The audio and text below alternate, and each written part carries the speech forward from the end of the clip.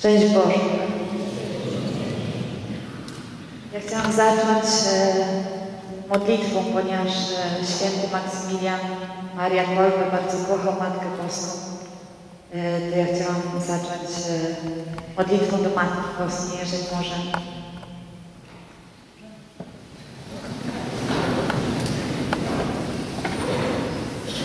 Zdrowaś Mario, łaski błogosławionaś Ty między.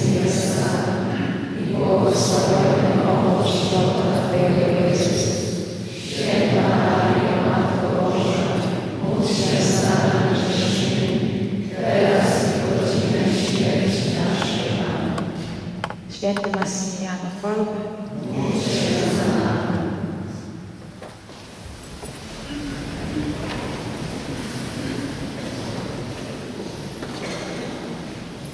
Tak, na, tak naprawdę wiemy, że nic nie jest e, przypadkiem. I o tym właśnie rozmawialiśmy też dzisiaj na, kola, na, kolacji. Ja powiem Wam szczerze, że po moim, to znaczy my codziennie się musimy nawracać. E, Nie to, że ktoś się nawróci raz, potem już jest nawrócony. Ale powiedzmy po moim początku nawrócenia, trzy lata temu, nawet jeżeli trzy lata temu jak wróciłam do kościoła, to ja tak naprawdę o wielu świętych nic nie widziałam, nie wiedziałam. I tak samo o świętym Maksymilianie Kolbe. Ja do półtorej roku temu nie wiedziałam nawet, co to jest. Półtorej roku temu stała się jedna rzecz, która do tej pory mnie dotknęła i którą chciałabym dzisiaj Wam opowiedzieć. Nigdy o tym nie mówię, ale myślę, że to nie jest przypadek, że dzisiaj tutaj jestem myślę, że powinnam. Chciałam Was przeprosić na początku, ponieważ jest mi ciężko po polsku mówić i czasami składam zdania w dziwny sposób, zapominam jakichś słów i wsadzam słowa włoskie. Mam nadzieję, że mi wybaczycie. Ja nie wiedziałam, kto to był święty Maksymilian Kolbe. Jak dostałam potem e-maila, że miałam tutaj przyjechać, moje serce zaczęło o, o wiele bardziej i szybciej bić, ponieważ półtorej roku temu my wiemy, że jak człowiek się nawraca, jak idzie za dobre, to diabeł tak szybko nie puszcza. I półtorej roku temu ja wylądowałam e, u jednego z, naj, z największych egzorcystów, którzy są e, we Włoszech, ponieważ on jest e, prezydentem całej spółki egzorcystów całego świata. To jest ojciec Cipriano de Meo. I od tamtej pory mm, my zdaliśmy sobie sprawę, że ja potrzebowałam opieki egzorcysty. Ale czemu Wam o tym mówię? Ponieważ on jest jednym z najstarszych egzorcystów na świecie. Ma 90 lat teraz. Ma 60 lat pracy jako egzorcysta. Jest dekanem. I któregoś dnia miał takiego pacjenta, który jak, jak został uwolniony od złego ducha po 8 latach, Pan Bóg zostawił mu taki wielki dar, że był on drzwiami dla świętych, żeby rozmawiać z tym światem. I przez tego chłopaka wielu świętych przemawiało do tego świata, przemawiało do ojca Cipriano de Meo. I któregoś dnia przemówił święty Maksymilian Kolbe. E, Te wszystkie rzeczy potem zostały złożone w Watykanie, także wszyscy w Watykanie o tym wiedzą. Ale tak się nie kończy ta rzecz, ponieważ święty Maksymilian Kolbe, jak się e, zaczął e, porozumiewać przez tego chłopaka, to to nie tak, że jeden dzień. To wielu, wiele spotkań było i wiele razy święty Maksymilian Kolbe wracał i opowiedział swoje ostatnie tygodnie właśnie tutaj w Auschwitz. I powiedział któregoś dnia, że jak on będzie odchodził, ostatniego razu, kiedy oni się spotkają, zostawi po sobie pamiątkę. I ostatnim razem, kiedy się spotkali, zobaczyli w pewnym momencie tego chłopaka, jak zaczął rę- rękoma trzeć, tak? I w rękach tego chłopaka zmaterializowały się okulary Maksymiliana Kolbe. Te okulary zostały potem oddane do Watykanu, ponieważ e, Maksymilian Kolbe powiedział im, żeby y, że pan Ci, ojciec Ciprian musi używać tych okularów do egzorcyzmów. I w Watykanie mają złożone te wszystkie ostatnie tygodnie, co on powiedział i też te okulary, ale oddali mu do tyłu, póki on będzie ży- żył, ponieważ powiedzieli, że jeżeli Maksymilian Kolbe Ci powiedział, że masz używać tych okularów do egzorcyzmu, póki Ty jesteś w stanie te egzorcyzmy robić, to będziesz trzymał te okulary. Ja nie zdawałam sobie sprawy z tego wszystkiego półtorej roku temu, ale miałam też w ręku te okulary, mam na- nawet zdjęcie, bo kiedyś sobie wsadziłam na nos, nie myśląc nawet, że to co to wielkiego ja mam w ręku, nie miałam pojęcia. I chciałam się z Wami tym podzielić, ponieważ yy, myślę, że my wiele razy zapominamy o tym, że życie prawdziwe jest nie tutaj. My tutaj jesteśmy tylko przejazdem, żeby sobie zarobić na to prawdziwe życie, co będzie po śmierci. I wiele razy podczas egzorcyzmu święty Maksymilian Kolby jest wołany o pomoc. I przyrzekam wam, wam, że wiele razy przychodzi i wiele razy daje dużo matów diabłu.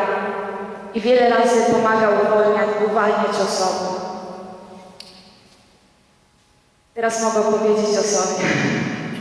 Po tym wszystkim e, wiem, że jest ciężko uwierzyć, ale niestety kto żyje e, wiarą, wie, że tak jak my się modlimy, nie, mo- modlimy się za te rzeczy widzialne i niewidzialne. I to nie jest tak, żeby sobie tak pogadać.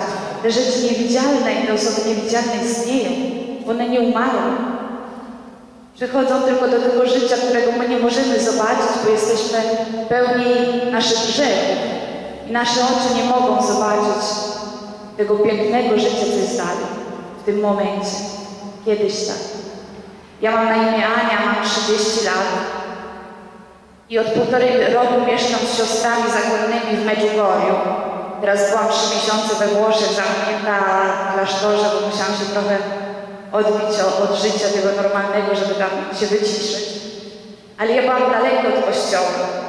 Ja jak widziałam księdza, to mi wychodziła w ogóle jakaś alergia. Jak widziałam kościół, przychodziłam na drugą stronę ulicy. Nie miałam w ogóle nic pojęcia na ten temat. Na ten temat. Urodziłam się 30 lat temu w Polsce komunistycznej, szarej, gdzie nic nie było. W sklepach nie można było nic kupić, nie kupowało się nawet za pieniądze, kupowało się za kartki. Moja rodzina była rodziną bardzo biedną, ale ja byłam szczęśliwym dzieckiem, ponieważ miałam obydwojgu rodziców, co mnie bardzo kochali. Jak się urodziła moja siostra, ja miałam 4 lata, to wiecie, od tamtej pory nie byłam już takim szczęśliwym dzieckiem, bo musiałam się z nią dzielić wszystkim. Moimi ubraniami, moimi zabawkami i miłością moich rodziców. Tak e, do kiedy miałam 10 lat. Mój tata był człowiekiem dobrym, o dobrym sercu, ale był alkoholikiem. Może dlatego, że on też miał marzenia, których nie udało mu się zrealizować. I on te swoje marzenia utapiał w butelkach wódki. I któregoś dnia wchodził po takich schodach, co go prowadziły tylko i wyłącznie do supermerkatu po następną butelkę wódki. Ale były to schody, które zaprowadziły go do nieba. On się poślizgnął, był to styczeń na tych schodach, uderzył głową o posadzkę i umarł. Jak miałam 10 lat, to zostałam już bez taty. Moja mama, przepraszam, wejdę troszeczkę więcej, to będę mogła na, na, was, na was patrzeć lepiej. Moja mama wpadła w depresję, zaczęła do domu przyprowadzać różnych mężczyzn. E, Jeden z tych mężczyzn e, się do mnie dobrał. Ona mi nie uwierzyła, bo wiele razy jest lepiej nie wierzyć, lepiej nie widzieć, żeby się nie przyznawać na, do naszych błędów jako rodzice. I ja zaczęłam nienawidzieć jej, bo była, nienawidzieć mojego ojca, bo już go nie było, nienawidzieć całego świata. Uciekałam z domu, uciekałam ze szkoły, żyłam na ulicy. Moi przyjaciele to byli ci, co sprzedawali narkotyki. My je braliśmy, chodziliśmy po sklepach i kradliśmy. I czuliśmy się jak bohaterzy. Nie wiedzieliśmy, że bohaterzy to są ci, co rano wstają, idą do pracy, może żeby doprowadzić do końca miesiąca rodzinę. My żyliśmy bez żadnych e, reguł i to nam się wydawało być tymi cwanymi, tymi, co wszystko zrozumieli w życiu. A tak naprawdę wtedy nic nie zrozumieliśmy. Moja babcia widziała, że moje życie jakoś szło w tą stronę, co nie trzeba i postanowiła mnie zaadoptować. Ale po paru tygodniach już nie chciała tej adopcji, ponieważ ja ją bardzo źle traktowałam. Chociaż to była osoba, którą najbardziej kochałam na świecie. Traktowałam ją źle, bo się bałam. Bałam się, że ona też mnie zostawi. I że ta cała jej miłość nie wystarczy, żeby mi do końca wybaczyć to wszystko, co ja tam jej wyprawiałam. I rzeczywiście, jak ona już mnie nie chciała, to ja postanowiłam się zabrać. Wzięłam butelki, nie butelki, pastylki, yy, ponieważ yy, chciałam umrzeć. Chciałam umrzeć, żeby pokazać innym, jak bardzo chciałam żyć. Chciałam umrzeć, żeby pokazać innym, że ja też istnieję. Bo my nie rodzimy się źli. Pan Bóg y, wszystkich nas nie stworzył jako osoby dobre. Ale niestety życie potem y, nas w jakiś sposób psuje. I my tylko byliśmy tak jak wszyscy inni dzieci, co chcieli usłyszeć od kogoś, zobacz, no nie jesteś do tylko do wyrzucenia, ty też w życiu możesz zrobić coś dobrego. A nikt nam nic takiego nie mówił. Wszyscy nam mówili tylko, że my nie zasługujemy na nic. Nie zasługujemy nawet na marzenia, bo marzenia są tylko dla tych pięknych i bogatych. A my byliśmy biedni i nie zasługiwaliśmy na to, żeby marzyć. Ja chciałam pokazać, że tak nie jest. Że każdy z nas zasługuje na to, żeby spełniać własne marzenia. I wiecie, e, tak do 16 lat uciekałam przed wszystkimi, ponieważ chcieli mnie zamknąć w takim domu opiece dla dzieci. I jak miałam 16 lat, to poznałam takie osoby, co zaproponowało mi pracę w Mediolanie jako modelka. I wyjechałam. Niepełnoletnia. Ale w tamtych czasach nigdy nie dojechałam do Mediolanu. Zawieźli mnie do takiego miasta pod Turynem, gdzie zamknęli mnie w takim garażu przekształconym w taki lokal najgorszej kategorii, gdzie zabrali mi dokumenty, gdzie chcieli, żebym pracowała jako prostytutka. Ja, e, to było 15 lat temu, nie mówiłam w żadnym innym języku niż po polsku. Nie miałam dokumentów. Nie miałam komórki, bo wtedy dla mnie była za droga. I między tymi osobami był też inspektor policji włoskiej, który współpracował z nimi. To było bardzo ciężko prosić o pomoc. Dopiero po 9 latach w Polsce zeznawałam przeciwko tym osobom, co mnie tak wywiozły. Wcześniej tego nie mogłam zrobić. Przed ucieczką, ponieważ udało mi się uciec, jeden z klientów tego lokalu mnie zgwałcił. Miałam, miałam 17 lat. I potem udało mi się uciec dzięki takiemu chłopakowi, którego nigdy więcej już nie widziałam. On, wiemy, że nie ma przypadków, ale powiedzmy, że przypadkiem trafił do tego lokalu. I on pomógł mi stamtąd uciec. Ja mówię na niego mój anioł stróż, bo w momencie, kiedy najmniej my tego oczekujemy, nasz anioł stróż przychodzi naprawdę. Kiedy on pomógł mi uciec, ja nie chciałam wrócić do Polski, bo powiedziałam, ja wyjechałam z Polski, żeby spełnić moje marzenie na lepsze życie, nie? Żeby innym udowodnić, że można. I nie chciałam wracać jako przegrany, tylko jako wygrany.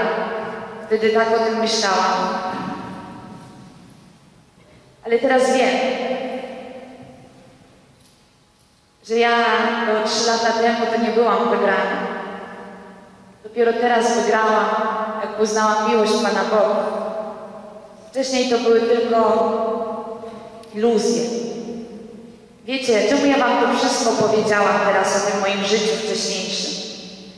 Nie dlatego, że chcę przed Wami robić ofiarę, bo ja dzisiaj nie czuję się ofiarą. Wręcz przeciwnie. Ja dzisiaj myślę, że cierpienie to jest szczęście, bo nie tylko nas nie odsuwa od Pana Boga, ale nas przybliża do Niego.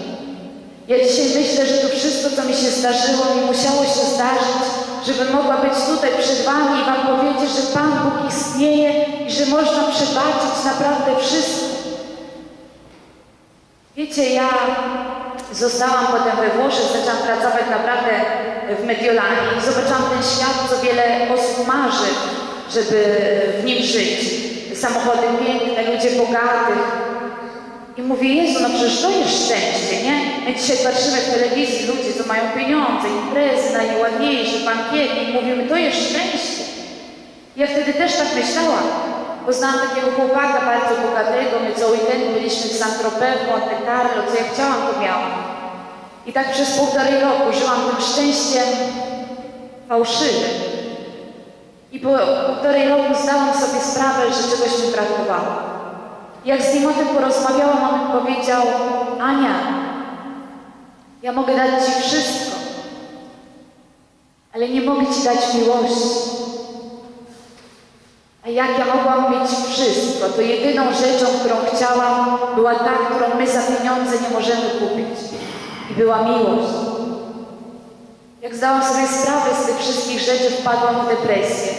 Potem w Mediolanie bardzo wiele osób y, się używa kokainy, narkotyków. I my też używaliśmy kokainy, bo jeżeli y, przede wszystkim w show biznesie, jeżeli ty y, nie robisz tak, jak robią inni, to nic cię odsuwają, jeżeli jesteś dobrym człowiekiem i dajesz dobry przykład, bo w tobie widzą ciebie tak jakby w lustrze i zdają sobie sprawę, że widzą ich limity, widzą ich grzechy i nie chcą tego widzieć, więc cię odsuwają i możesz nigdzie dojść. Więc ja musiałam się w jakiś sposób do nich e, upodobnić. I też brałam narkotyki wiele razy, nie spałam w nocy, brałam, spałam w dzień, tylko jak brałam proszki na senny. Wiele razy chodziłam na czworaka, na czworaka po domu, szukałam szparek, podłogi, czy może jeszcze gdzieś tam zostały jakieś granulki kokainy z wieczoru wcześniej. Nie pamiętałam już nawet, co robiłam parę godzin temu. I któreś nocy obudziłam się, bo mój pies szczekał. I obok mojego łóżka stał taki starszy pan z brodą, się na mnie patrzył i kiwał głową. Ja sobie pomyślałam, narkotyki, alkohol, na pewno mam, mam jakieś przewidzenia, jakieś halucynacje. Zapaliłam światło. Mój pies cały czas szczekał na tego starca z brodą i on cały czas tam stał i się na mnie patrzył. I nic nie mówił. Ale tak jak się na mnie patrzył, tak jakby mi chciał coś przekazać. Tak jakby telepatycznie oczami przekazywał mi wiadomość. I ta wiadomość była taka. Ania, co ty robisz? Wiecie, to się zdarzyło 9 lat temu. Ja nie wiedziałam nic, nie miałam pojęcia o objawieniach o świętych. I dopiero po 9 latach w Medjugorju dali mi książkę, która opowiadała o życiu pewnego świętego. Ja po 9 latach zobaczyłam jego twarz na okładce i zdałam sobie sprawę, kto to mnie przyszedł, postrzedł 9, 9 lat temu. I to była twarz ojca Pio. Ja po dziewięciu latach zdałam sobie sprawę, że on przyszedł wtedy mnie odwiedzić. Od tamtej pory nawet, chociaż nie wiedziałam, kto to był ojciec Pio, zaczęłam zmieniać moje życie. I zostawiłam mojego narzeczonego, zaczęłam sama mieszkać w Mediolanie cały czas pracowałam dla telewizji, dla, dla mody we Włoszech. I to wszystko tak trwało do trzy lata temu. Bo trzy lata temu moja historia została opowiedziana pewnemu wydawcy z Włoch została mu opowiedziana, sprzedana tak jak taki produkt, który można dobrze sprzedać, nie? Bo dzisiaj co sprzedają? Dzisiaj sprzedają skandale, sprzedają wszystkie takie brzydkie rzeczy. Rzeczy dobre nie sprzedają. I w mojej historii to wszystko było, można było ją dobrze sprzedać, można było zrobić książkę. I ten wydawca chciał się ze mną spotkać, nazywa się Diego. No i my poszliśmy na kolację. Ja przez dwie godziny opowiedziałam mu moje życie. A po dwóch godzinach on jedyną rzeczą, którą, mi powiedział, to była ta. Ania, jak patrząc Ci w oczy, zrozumiałem, że Twoją książkę, Twoją historię muszę wydać. Ale tu, Ty wcześniej musisz pojechać ze mną do Medjugorje.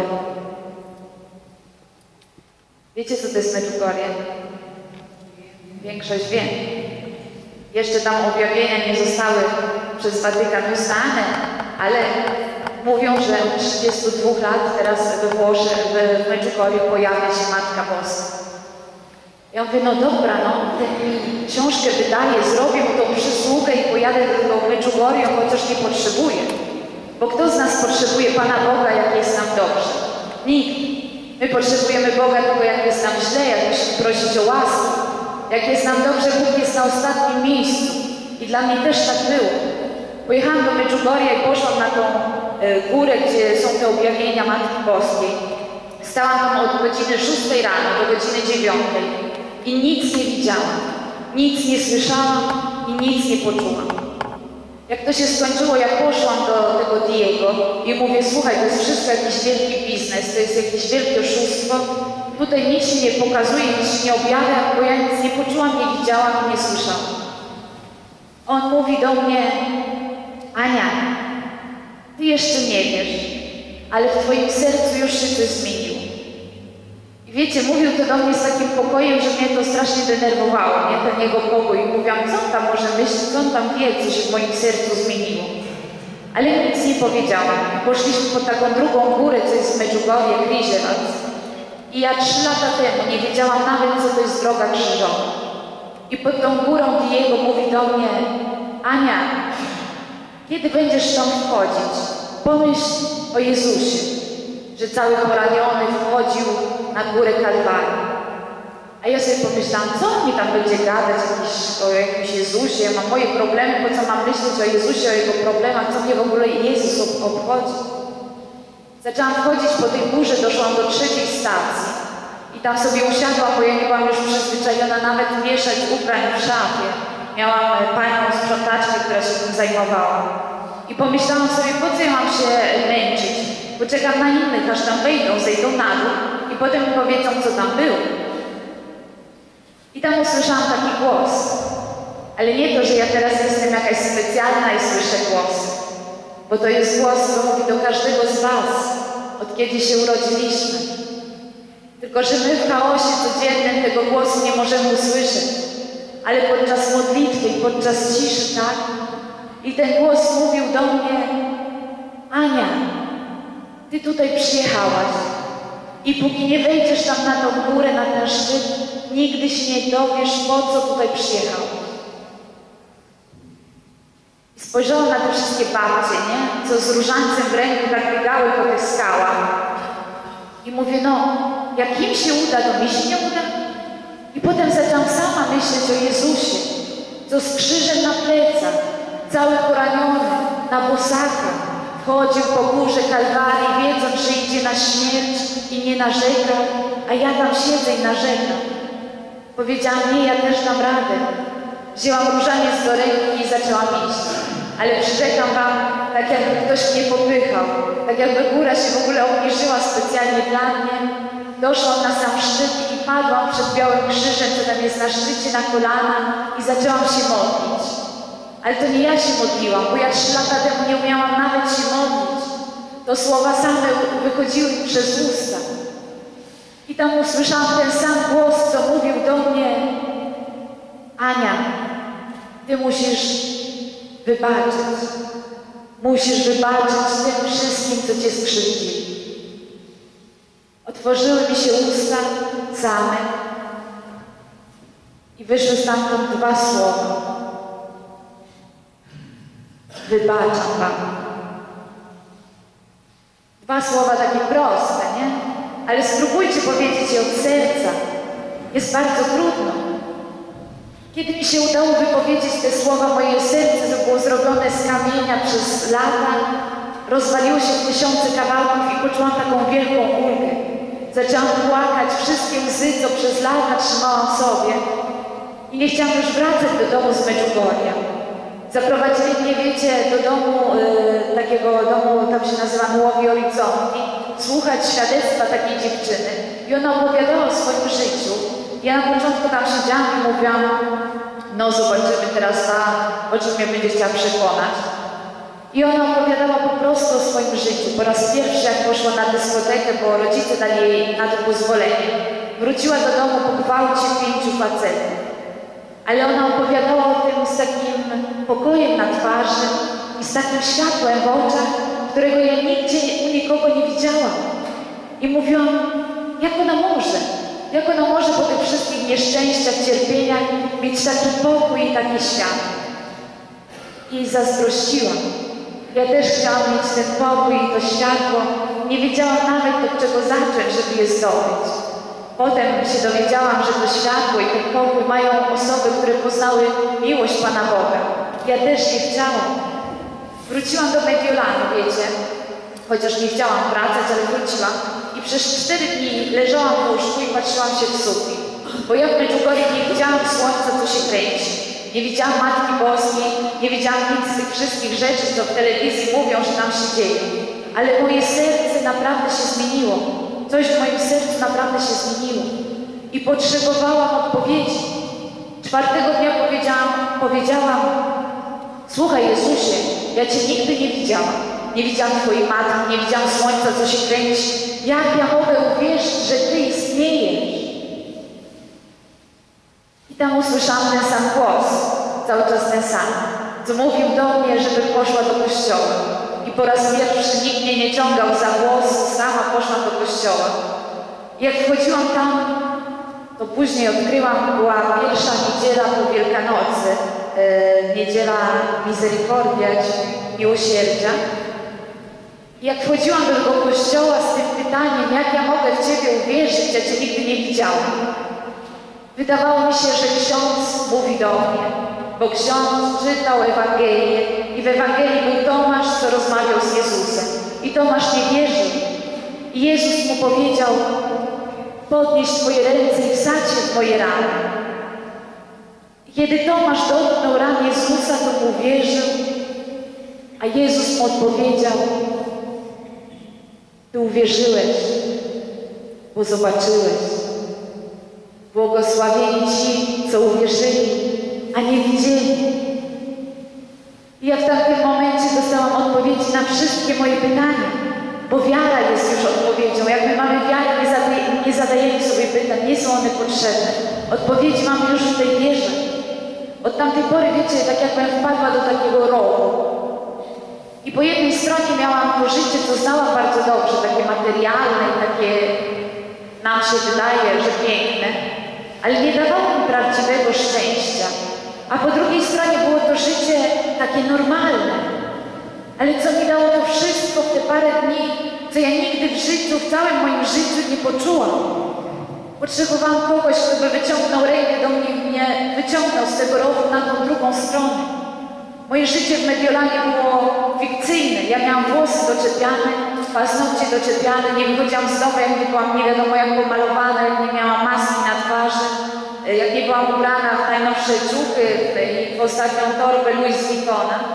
Brałam e, pastyki nielegalne na odchudzanie. Teraz widzicie, przytyłam już 14 kilo, bo siostry zakonne, gdzie mieszkam, dobrze gotują, ale jestem szczęśliwa. Ja wcześniej musiałam się upodobnić do innych i musiałam się im podobać, ale nikogo nie, nie obchodziło, kim była naprawdę Ania w środku i czego potrzebowała. Chociaż miałam narzeczonego, którego wiele dziewczyn chciałoby mieć, bo mój narzeczony jest, yy, jest yy, wnukiem, nie wnukiem, jak się mówi po polsku, siostrzeńcem jednej z najbardziej potężnych osób we Włoszech i najbardziej bogatych. My jeździliśmy wszędzie z ochroniarzami, z e, samolotem prywatnym. Co ja chciałam, to miałam. Z narkotykami, ale nie mam nic do czynienia od 9 lat, zapomniałam o tym powiedzieć. E, co ja chciałam, to miałam, ale nie byłam szczęśliwa. Wiecie, ta, e, wiele razy ja przy, przychodziłam do domu i piłam sama w domu, e, ponieważ nie chciałam dopuścić do mnie tej myśli, że ja Boga potrzebowałam. Chociaż go wtedy poznałam w Medjugorje, ale ja nie chciałam dopuścić, że ja w ogóle kogokolwiek potrzebowałam. I nie mogłam się już odnaleźć w tym normalnym życiu. Moi znajomi dzwonili do mnie, mówili, Jania, słuchaj, jest najlepsza Week, jest najlepsza impreza tutaj w Mediolanie, chodź z nami. A ja mówiłam, nie, słuchajcie, mam inne spotkanie. A tak naprawdę to nie była prawda, bo chodziłam sama do kościoła i rozmawiałam z Panem Jezusem. W pewnym momencie wpadłam w wielką depresję, bo już nie mogłam tej mojej drogi znaleźć. Próbowałam się bronić przed Panem Bogiem we wszystkie sposoby, ale nie udało mi się. I półtorej roku, zadzwoni, półtorej roku temu zadzwoniłam do tego Diego i powiedziałam, słuchaj, albo mi pozwolisz wrócić do miejsca, gdzie udało mi się zrzucić maskę i być mną, so, mną samą, albo ja się rzucę przez okno. I półtorej roku temu on znalazł mi miejsce w takiej wspólnocie maryjnej w Medjugorje.